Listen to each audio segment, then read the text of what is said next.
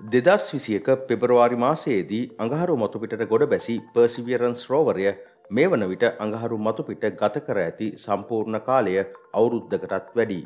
මෙම කාලය තුළදී එය තමා ගොඩ බැසි ජෙසෙරෝ ආවාටයේ දකුණු සෙරේටා ප්‍රදේශය අධ්‍යයනය කිරීම සහ එම ප්‍රදේශයෙන් පසුව පෘතුවියට රැගෙන ඒම සඳහා පාෂාණ සාම්පල කිහිපයක්ද එකතු කර ගැනීම සිදු කරනු ලැබුවා.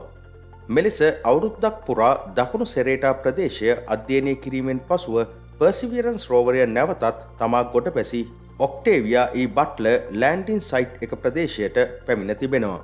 මේ දැක්වෙන්නේ ඉන් අනතුරුව පර්සිවිරන්ස් රෝවරය ඉදිරියේදී ගමන් කිරීමට නියමිත ගමන් මාර්ගයයි.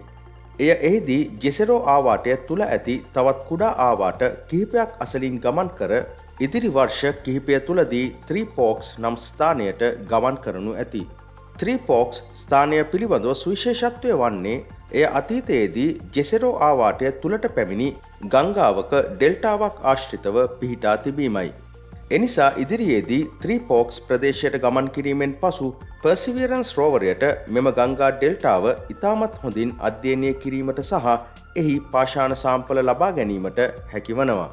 එලෙස මෙම ගංගා ඩෙල්ටාව අධ්‍යයනය කිරීමෙන් සහ පසුව එම ස්ථානයෙන් ලබාගන්නා සාම්පල පෘතුවයට රැගෙනවිත් ඒවා අධ්‍යයනය කිරීමෙන් අනතුරුව අතීතයේදී අඟහරු මතුපිට යම් ආකාරයක ජීවයක් තිබුණේද යන්න ගැන අපිට හරි හැටි දැනගැනීමට හැකිවනවා. පර්සිවියරන්ස් රෝවරය ජෙසෙරෝ ආවාටය තුළට ගොඩබැස්සවීමට මූලිකම හේතුවක් වූයේත් එය තුළ තිබෙන මෙම ගංගා ඩෙල්ටාව අධ්‍යයනය කිරීමයි. ඊළඟට දැක්වෙන්නේ පර්සිවියරන්ස් රෝවරය දකුණු සෙරේටා ප්‍රදේශයේ සිට තමා ගොඩ බැසි Octavia E e. Butler landing site එක ප්‍රදේශයට ගමන් කිරීමේදී ලබාගත් පැනරෝමා ඡායාරූපයක්.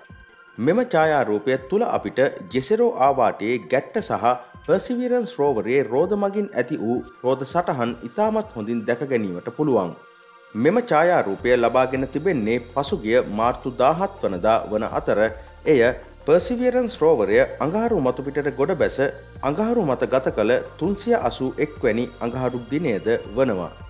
මම හිතනවා ඔබට මතක ඇතැයි කියලා අඟහරු මතුපිට දිනයක් පෘතුවි දිනකට වඩා විනාඩි තිස් හතක් වැඩි බව.